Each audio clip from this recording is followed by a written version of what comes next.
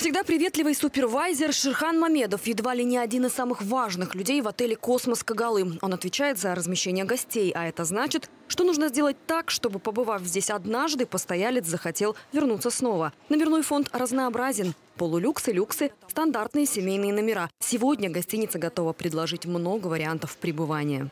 Мне нравится контактировать с людьми, разговаривать, общаться. То есть и так скажем, моя задача именно заключается в этом.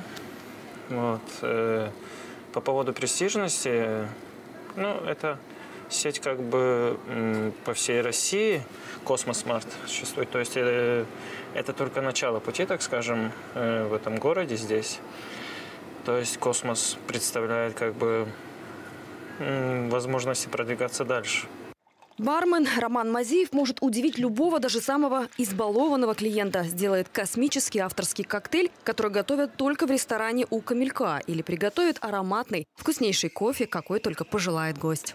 Почему я выбрал эту работу? Наверное, из- из-за престижности сети, также из-за отношения к сотрудникам, а, из-за хорошего коллектива, в котором я работаю, а, из-за мероприятий, которые здесь проводятся, то есть бранчи, рождественские ужины, какие-то приезжие уж- ужины, гастроужины.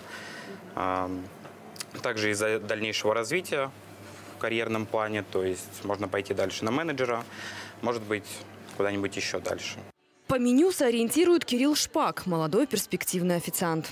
Уровень высокий среди всех заведений в нашем городе. У нас идет дикая кухня, сибирская, то есть муксун было открытием для меня, потому что до этого с ним не работал. Оленина, также медвежатина.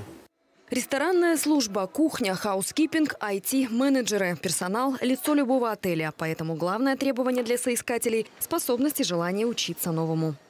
гостиничный бизнес это больше не профессия, а призвание, да, потому что многие гости, они видят только внешнюю сторону работы и, очень часто не видят вот этой рутины и тяжелой работы, которая происходит за кадром. Мы помогаем коллегам, а, если в каком-то департаменте сложно, не знаю, там, помыть посуду, убрать номера и так далее. То есть это тоже часть корпоративной культуры, которая, ну, которую нужно принимать.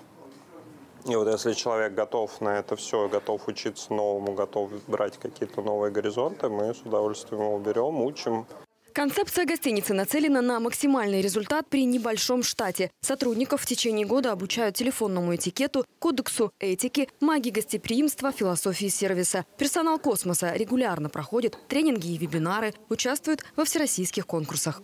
Моя основная задача как руководителя, помимо операционной деятельности, это, безусловно, развитие персонала. Мы даем очень хорошую базу, которая складывается из многих частей. Это и тренинги, это и обучение на рабочих местах, одна из основных э, особенностей сетевых отелей, когда человек приходит, и он сразу становится на рабочее место, и более старший коллега его учит. А, плюс выезды обязательно обмен опытом с другими отелями, да, то есть э, в следующем году у нас уже тестовые ребята поедут в другие гостиницы работать именно на Task Force, то есть вызывную работу.